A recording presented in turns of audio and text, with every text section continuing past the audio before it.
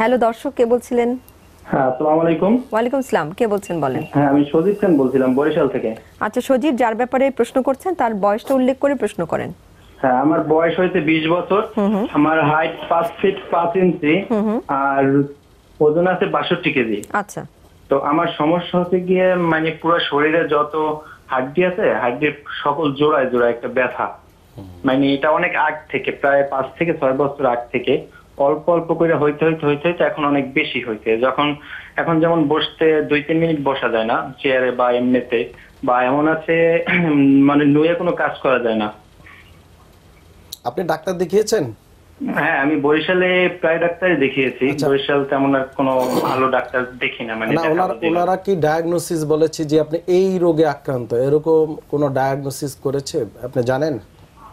না এভাবে কিছুই করায়নি। এমনি সাধারণত কিছু এক্স রে করাইছে। এক্স রে করানোর পর তারা বলছে যে হাড্ডির ভিতরে একটা ক্যালসিয়ামের মতো কি জানি থাকে নরম।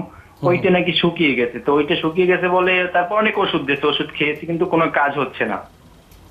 আচ্ছা আপনার এই যে চলাফেরায় ব্যথা বেড়ে যায় নাকি শুয়ে থাকলে বসে থাকলে ব্যথা হ্যাঁ এটা চলাফেরায় একটু বেশি হয়। যেমন হাঁটাহাঁটি করলে অনেক বেশি হয়। যেমন আহ, চেয়েছিলাম যে অনেক দেখেছি যেমন সাইফুল্লাহ স্যারের অনেক ভিডিও দেখেছি এক্সারসাইজ করার জন্য। তো এক্সারসাইজ করতে গেলে একটু একটু দৌড়াদৌড়ি করলে তারপর একটু পরে আবার অনেক বেশি একটু ব্যথাই হয় মানে হাঁটতে সমস্যা।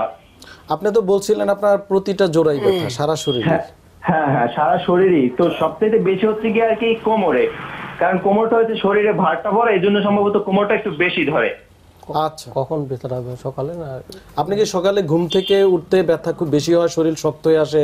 নড়াচড়া করতে কষ্ট হ্যাঁ হয়? সকালে একটু বেশি হয় ঘুম থেকে ওঠার পরে। আচ্ছা ধন্যবাদ আমরা উত্তর দিচ্ছি। হ্যাঁ আমরা বুঝতে পারছি যে সজীবের আসলে মনে হয় সেরকম ডায়াগনোসিসই হয়নি বা ওরকম পরীক্ষা নিরীক্ষায় হয়নি কিন্তু হ্যাঁ, তাই না? আমার কাছে যেটা মনে হয় এনি আর্থ্রাইটিস আর্থ্রাইট জনিত সমস্যা কারণ যেমন মর্নিং স্টিফনেস এটা সাধারণত রিমাটয়েড আর্থ্রাইটিসের একটা ক্লিনিক্যাল Criteria একটা আমরা এবং হচ্ছে আপনার অ্যানকালোজিং এর ক্ষেত্রে এটা হতে পারে। যদিও রিমাটয়েড আর্থ্রাইটিস পুরুষদের কম হয়ে থাকে সাধারণত এটা মহিলাদের বেশি হয়। আর অ্যানকালোজিং স্পন্ডিলাইটিস কিন্তু আপনার পুরুষদের বেশি হয়ে থাকে। তো ওই আর্থ্রাইটিসও কিন্তু যেটা হচ্ছে যে কোমর ব্যথা হবে প্রতিটা আচ্ছা জোড়ায় জোড়ায় ব্যথা সজীবের হবে। তাহলে তার কি টেস্ট করা উচিত? আপনার কি মনে হয়? ওনার কিছু সেরোলজিক্যাল টেস্ট করতে হবে। ব্লাডের বিভিন্ন টেস্ট আছে যেমন সিভিসি তো করতে হবে রিমাটয়েড আর্থ্রাইটিসের টেস্ট আছে। এবং আমরা এই সকল রোগীর অ্যানকালোজিং আমরা একটা স্কোবার্স টেস্ট বলি যে স্পাইন সামনে তাকে ঝুঁকতে বলি। যদি সে ঝুঁকতে গেলে স্পাইনটা মানে ইয়ে হয় বাঁকা হয় মানে লাইক অ্যাজ ইংরেজি সি অক্ষরের মতো হয় তখন বোঝা যায় যে স্পাইন ঠিক আছে কোনো আর্থ্রাইটিস জনিত সমস্যা না। আর যদি দেখি না এটা আইয়ের মতো মানে সে বাঁকা করতে পারে না স্পাইনটাকে তা- তাহলে বুঝতে হবে এটা অ্যানকাইলোজিং রুগী। যে এবং ওখানে একটা গ্যাপ তৈরি হবে যে গ্যাপটা আমরা একটা মিনিমাল ক্রাইটেরিয়া আছে বেশি হতে হবে স্পাইন মানে স্পাইনটা যে এক্সটেনশন হবে বা লম্বা হবে সেটা যদি না হয় মাসেলসটা তাহলে বুঝতে হবে স্কাবার টেস্ট পজিটিভ তো সেই ক্ষেত্রে ওনাকে কিছু যেমন এই সেলে বি টোয়েন্টি সেভেন একটা এন্টিজেন টেস্ট আছে এটা দিয়ে কনফার্ম করা যায়। আরও বিভিন্ন ব্লাড টেস্টের মাধ্যমে এবং এক্স রের মাধ্যমে কিন্তু এবং ক্লিনিক্যাল ফিচার দিয়ে এটা কনফার্ম করা যায়। আমার মনে হয় ডায়াগনোসিসটা এখনও কনফার্ম হয়নি। যদি ওনার সঠিক ডায়াগনোসিস করা যায় দেন আমরা যে অ্যাডভান্স ট্রিটমেন্টের কথা বলছি যেমন পিআরপি বা ওজন থেরাপি বা আমরা যে ফিজিওথেরাপির কথা বলছি বা আমরা যে রিহ্যাবিলিটেশন কথা বলছি এই সকল ট্রিটমেন্টে যাওয়া যাবে। আমার মানে মোট কথা তার আগে ডায়াগনোসিস স্টাবলিশ হওয়ার পরে ট্রিটমেন্টে যেতে হবে। তারপরে ট্রিটমেন্ট যেটা হয়নি তার এখন। যেটা এখনও হয়নি সে হয়তো পেইন কিলার খেয়ে যাচ্ছে। এটা কারণ এত বছর তো এইভাবে থাকার কথা না। অবশ্যই ব্যথার ওষুধ খাচ্ছে।